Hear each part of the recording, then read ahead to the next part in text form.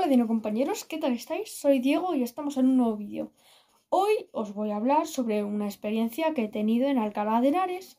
Sido un taller de paleontología donde pues hemos aprendido sobre pues, paleontología. Está una paleontóloga con nosotros explicando las cosas. Hemos estado viendo una nueva sala de paleontología y sobre todo hemos hablado sobre dientes y sobre mamíferos, sobre todo, bueno, solo de mamíferos, del Mioceno. Hemos visto una réplica de un cráneo de Herrerasaurios, pero no lo he podido fotografiar, así que ya buscaré foto y os lo pasaré.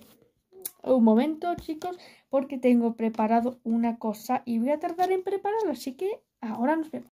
Hola, Dino compañeros, ¿qué tal estáis? Y hoy os presento Paleontólogas, una aplicación donde vais a poder ver todas las escalas temporales geológicas. Podéis entrar, luego os pondrán los animales y seres vivos y cosas que parecieron, por ejemplo aquí las plantas, bla bla bla, el neogeno, todos los animales y cosas así. Espérate, ¿ves? ¿Veis? Más bien. Y luego vais a tener también aquí unos test que vais a poder responder, información, cambiar el lenguaje y esta parte que es la que estamos nosotros.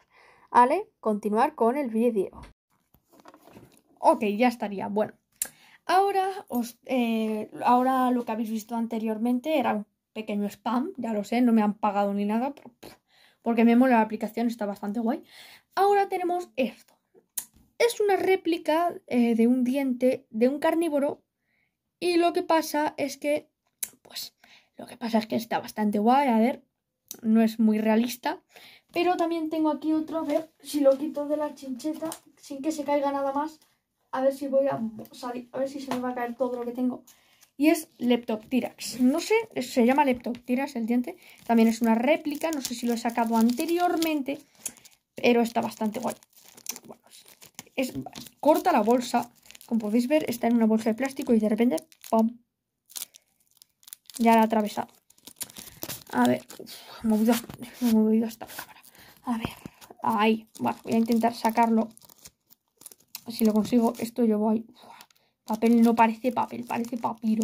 Lleva ahí años el papel. Aquí está. Está bastante guay. Mirarlo. A ver qué enfoque. Bueno, si no enfoca, tiene se le ven como rayitas, está muy bien. Aquí esto, las partes de un diente pues estaban, pues la corona, que era lo que más salía. Luego esto, que estaba la corona estaba hecha de, de mm, esmalte. Luego teníamos, eso lo hemos aprendido hoy.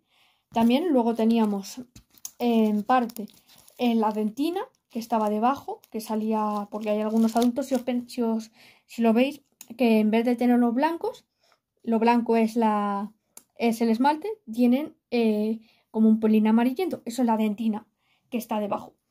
Y luego también tenemos la, en la parte de la raíz, tenemos eh, la cavidad pulpar, o algo, sí, la cavidad pulpar, que cuando muere el animal eh, se queda vacía, porque lo que hay dentro es orgánico, por lo cual se, se deshace.